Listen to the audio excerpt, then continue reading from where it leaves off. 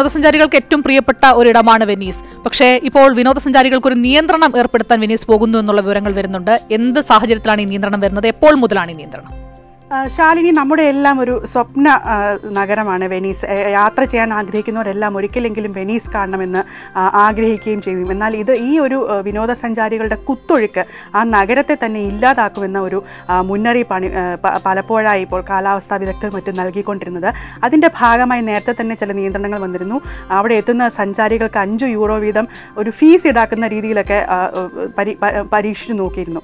ആകെ ഏഴര ചതുരശ്ര കിലോമീറ്റർ വിസ്തീർണമുള്ള ഒരു ഒരു ചെറു പട്ടണമാണ് ഈ വെനീസ്. അത് മുഴുവൻ കനാലുകളാണ്. ഈ കനാലുകളാണ് അവിടുത്തെ ആകർഷണീയതയും.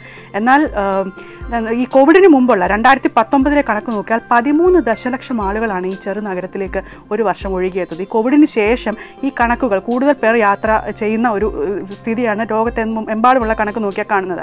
അതുകൊണ്ട് ഇതിന്റെ എണ്ണം കൂടുമെന്ന് മനസ്സിലാക്കിയാണ് ഒരു സംഘത്തിൽ ഇരുപത്തിയഞ്ച് പേർ കൂടുതൽ പാടില്ല എന്നുള്ള ഒരു നിർദ്ദേശം വന്നത്. വലിയ വലിയ സംഘങ്ങളെ ഇനി എന്തായാലും വെനീസിലേക്ക് പ്രവേശിപ്പിക്കില്ല. ഒപ്പം തന്നെ ഉച്ചഭാഷണിക്ക് വലിയ തോതിലുള്ള നിയന്ത്രണം ഏർപ്പെടുത്തിയിട്ടുണ്ട്. നേരത്തെ തന്നെ വലിയ കപ്പലുകൾ അവിടേക്ക് പ്രവേശിക്കുന്നത് തടഞ്ഞിരുന്നു. കാരണം അവിടുത്തെ ഒരു കപ്പൽ അവിടെ ചെന്ന് ഇടി അവിടെ ഇടിക്കുകയും അവിടുത്തെ തുറമുഖത്ത് ഇടിക്കുകയും വലിയ രീതിയിലുള്ള നാശനഷ്ടങ്ങൾ ഉണ്ടാവുകയും ചെയ്തിരുന്നു. യുനെസ്കോ തന്നെ ഈ അടുത്തു പറഞ്ഞത് ഇതിന് ഈ വിനോദസഞ്ചാരത്തിന് വലിയൊരു നിയന്ത്രണം ഏർപ്പെടുത്തിയില്ലെങ്കിൽ നശിക്കാൻ പോകുന്ന അപകടാവസ്ഥയിലുള്ള പൈതൃക നഗരങ്ങളുടെ പട്ടികയിലേക്ക് വെനീസും എത്തും എന്നുള്ളതാണ്. എന്തായാലും വിനോദസഞ്ചാരം എന്തുകൊണ്ടും നല്ലതാണ്. ആളുകളുടെ ആ, സ്ഥലത്തിന്റെ ഒരു സാമ്പത്തിക സ്ഥിതിയും ആളുകളുടെ ജീവിതവും ഒക്കെ മെച്ചപ്പെടുത്താൻ ഉപകാരമാണെങ്കിലും എങ്ങനെയാണ് അമിതമാകുന്ന വിനോദസഞ്ചാരം ഒരു നഗരത്തെ തന്നെ ഇല്ലാതാക്കുന്നത് എന്നതിന്റെ ഉദാഹരണമായി ഇപ്പോൾ വെനീസ് മാറുകയാണ് ശാലിനി.